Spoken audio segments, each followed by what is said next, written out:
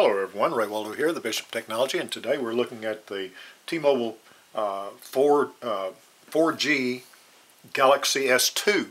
Now this is not uh, uh LTE, but it is 4G by uh, T-Mobile's estimation, and supposedly gets up to 42 megabytes of uh, connection, so that's pretty fast on, on um, Verizon and my MiFi. I get maybe about 12 at the best. So uh, if you get 42 on this, that's that's even better than LTE right now. Of course, they'll be getting better.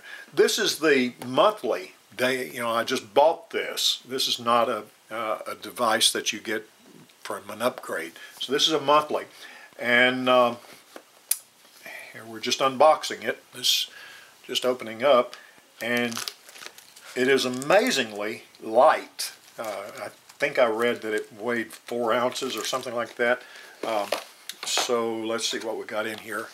Uh, all the miscellaneous and sundry little stuff, the books and uh, whatever. And here's what we're really looking for is the battery.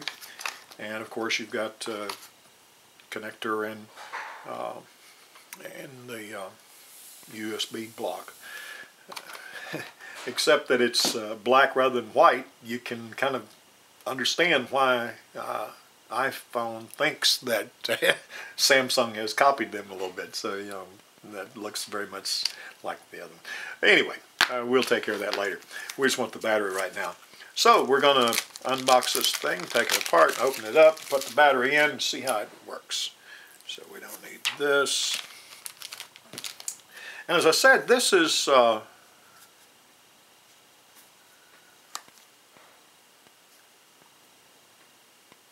Probably should have read how. There we go. Um, that's real flimsy and light. That's just real little light plastic there, which uh, I'd read that this thing was built pretty substantial, but uh, that is not substantial at all. That is very, very light.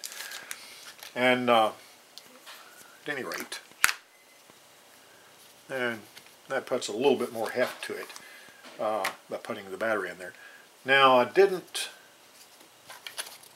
see the SIM card. There should be a SIM card in here. Oh, we may have a problem here.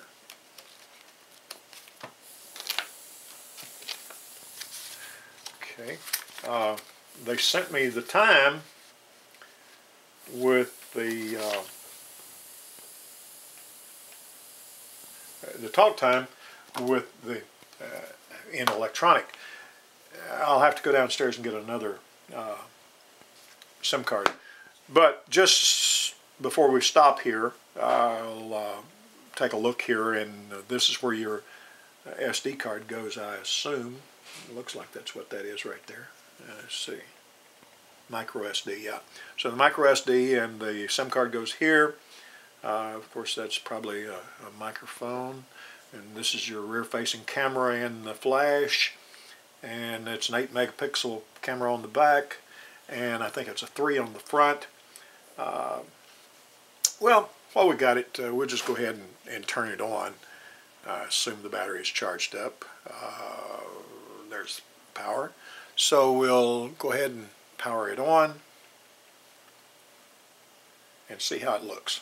Coming up, Samsung Galaxy S2 4G from, and of course this is Android of course. There's a little music in the background. Okay. So, uh,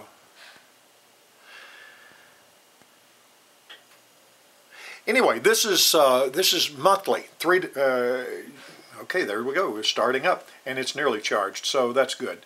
Uh, there is uh, no connection, of course, and uh, we'll have to get that working. But this is supposedly works on a special uh, deal with Walmart for $30 a month. You get unlimited, truly unlimited data uh, after I think five megabits, uh, or five gigabits, uh, gigabytes, I believe, uh, five gigabytes or something like that. Then it starts slowing you down in access speed. If you got uh, 42, which I'm sure it won't, but uh, if you whatever you got uh, at at the uh, normal speed, you won't get that in after you draw down five gigabytes. Uh, then you'll get something slower, probably about dial-up, I guess. I don't know. Anyway, uh, $30 a month, and you get unlimited data, unlimited texting, and 100 minutes of talk time. Now, for a lot of people, that's not going to be enough. Uh, of course, you can get 10 cents a minute, which is still pretty cheap. Uh, but for me, 100 minutes is all I talk on the phone. I don't use the phone very much, just occasionally. Uh, data is what I do. I do a lot of data. So uh, unlimited data for me is the ideal. And uh, I've been looking for a plan like this. Now, the problem may be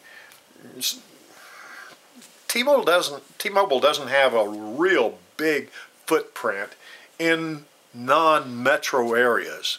Uh, they cover almost all the metros and a lot of the interstates.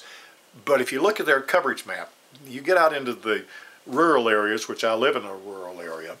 Uh, their coverage is really kind of spotty in places, and I'm right on the verge. So I don't know if I'm going to be able to get coverage here or not. If I don't, you know, here is not really a problem because I've got Wi-Fi. I can pick up Wi-Fi, and they got free calling on Wi-Fi with T-Mobile, so that's not an issue. I can use it all I want here.